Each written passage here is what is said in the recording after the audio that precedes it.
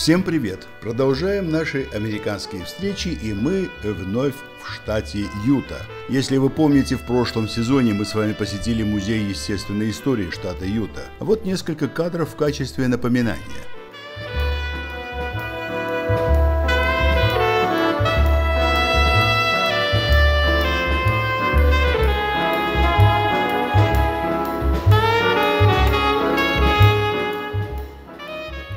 Прямо по соседству с этим музеем, в семи с половиной милях от центра Солт-Лейк-Сити, в ведении университета Юты, на восточной стороне его кампуса площадью более 100 акров, у подножия хребта Осач находится райский уголок, который перенесет вас как бы на другую планету. Это Red Butte Garden, ботанический сад и дендрарий штата Юта. Он открыт для публики круглый год, за исключением Дня Благодарения, Рождества и Нового года.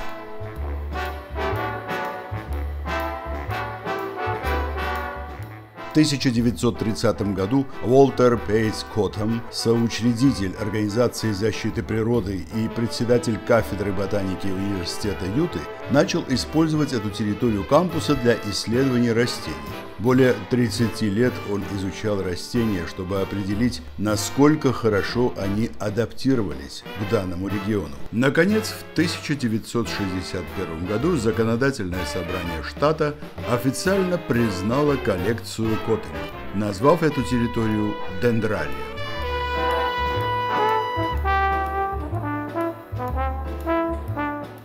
Годами потребность в дендрарии как в образовательной программе стала ощущаться, и университет Юты нанял Ричарда Хилдрета в качестве постоянного директора. В 1983 году Зиг Дамке-младший и Ричард Хилдред возглавили процесс выделения 150 акров земли в устье каньона Ред Бют под региональный ботанический сад. Название организации изменилось с государственного дендрария на Red Butte Garden and Arboretum, парк Red Butte и дендрарий.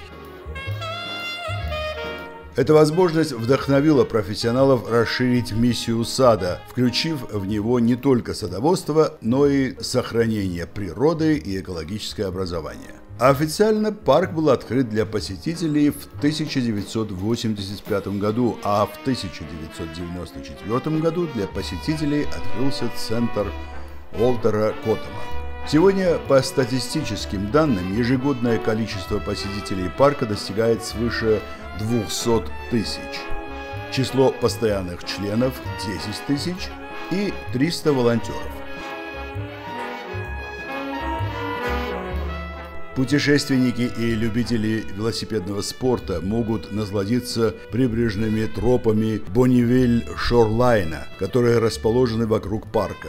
По парку также можно прогуляться на специальных экскурсионных автомобилях, однако пешая прогулка намного приятнее, хотя за одно посещение всего не увидишь. Парк разделен на несколько секций. Давайте представим некоторые из них. Например, детский сад. Это подходящее место для игр детей разного возраста. Есть здесь и экзотические фонтаны –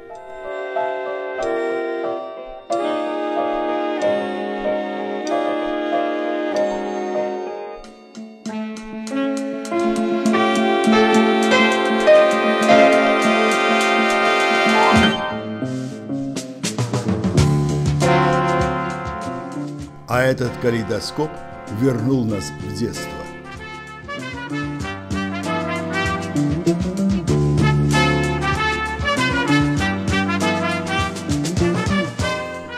Гиппократ однажды сказал, сама природа лучший врач. Здесь также есть сад с лечебными травами, медицинский сад, курсы по эмоциональному и психическому здоровью человека, лесной медицине и флоре также проводятся ежегодно в этой части парка. Они включают в себя одну из важнейших проблем в мире – борьбу с онкологией.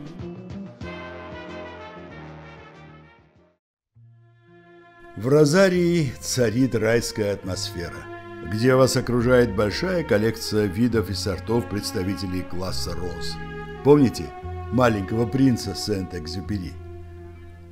На вашей планете люди выращивают пять тысяч роз и не находят того, что ищут, сказал маленький принц. Не находят, согласился я. Но то, что они ищут, можно найти даже в одной розе. Ищите ту единственную розу, и вы обязательно ее найдете.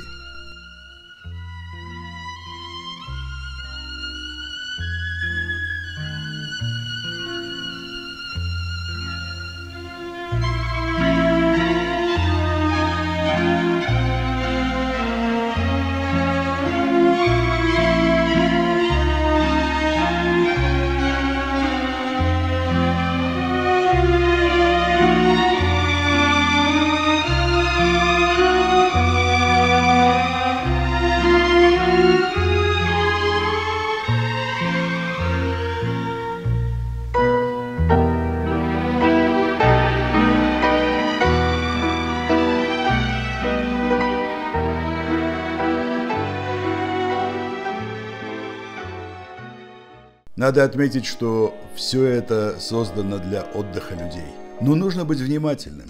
Не рвать цветы, не сорить, не портить деревья и кусты, которые вас окружают. Кстати, будьте осторожны. В этом районе водятся и змеи, в том числе ядовитые, например, большая гремучая змея.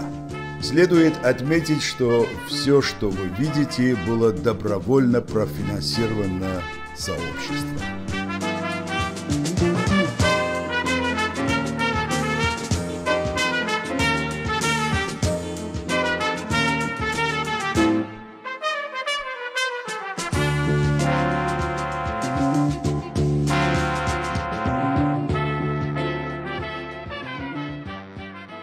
Сад ароматов.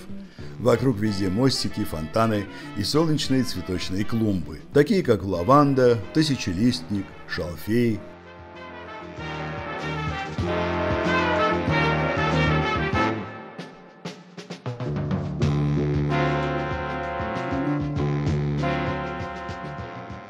Кстати, эти тропинки служат еще и местом встречи молодоженов – на глазах у гостей они приближаются друг к другу и встречаются в тени клинитий. Затем все переходят к месту проведения обряда.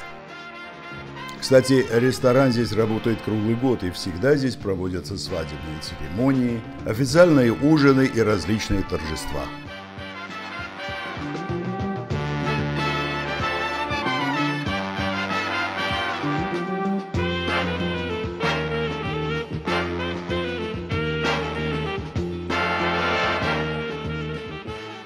По праздникам здесь устраивают ярмарки ремесел, детские лагеря, шоу орхидей и другие развлечения. В летние месяцы в садовом амфитеатре организуются концерты под открытым небом, на которых часто присутствуют всемирно известные звезды.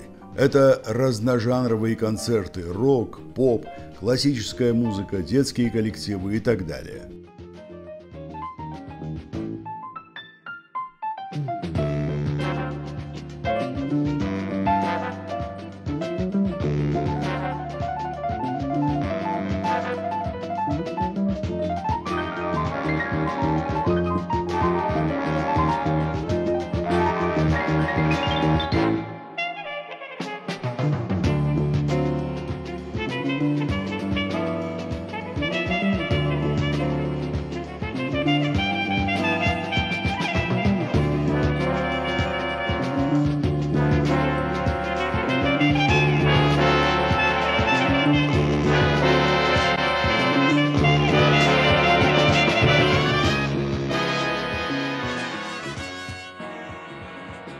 Возьмите с собой одеяло, удобные складные стулья, заранее закажите ужин или возьмите с собой летний коктейль. Расслабьтесь и танцуйте под исполнение звезд.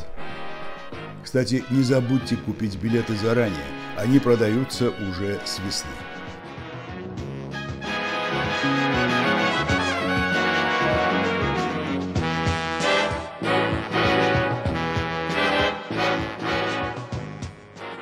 Помимо растительности здесь есть и декоративные скульптуры. Например, этот дуб здесь установлен в честь основателя парка Волтера Коттема.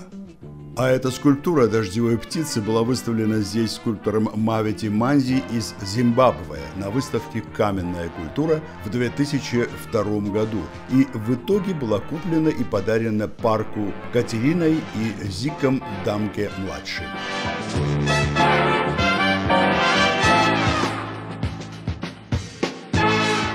Река Редбют. Она пересекает северную часть парка, через которую построено шесть мостов.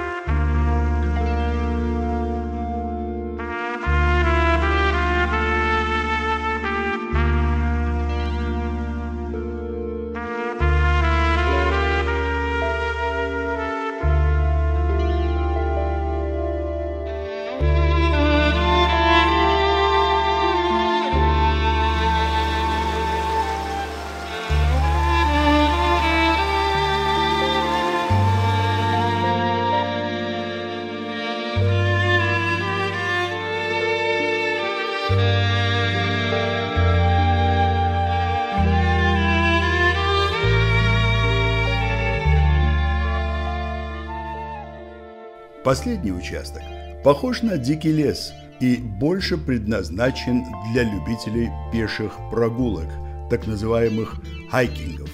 На противоположной стороне находится очень красивый пруд, где можно сидеть часами и наслаждаться звуками природы. Люди здесь даже уединяются и занимаются чтением.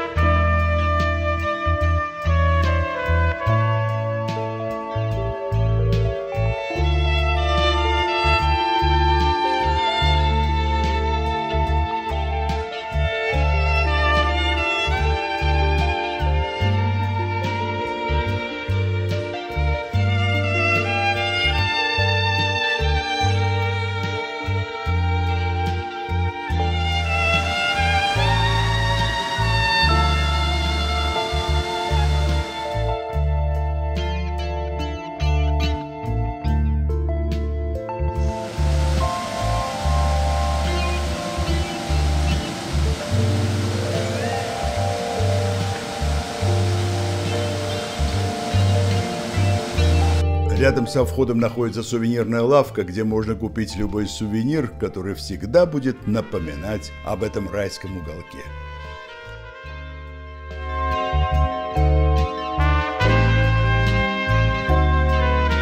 Кроме того, поскольку некоторые районы расположены в предгорьях Солт-Лейк-Сити, здесь местами открывается захватывающий вид на горы Усач, на долину Соленого озера. Видны также некоторые здания города –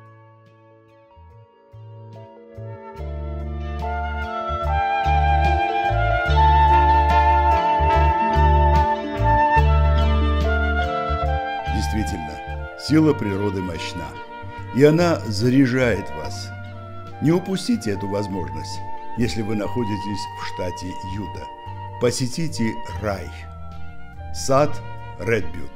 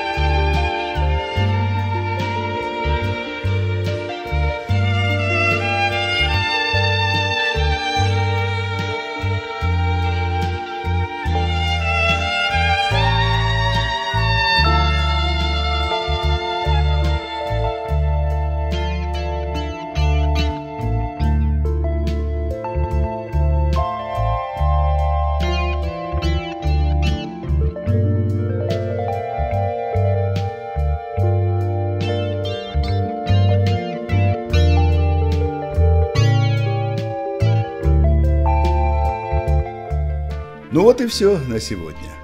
До новых американских встреч!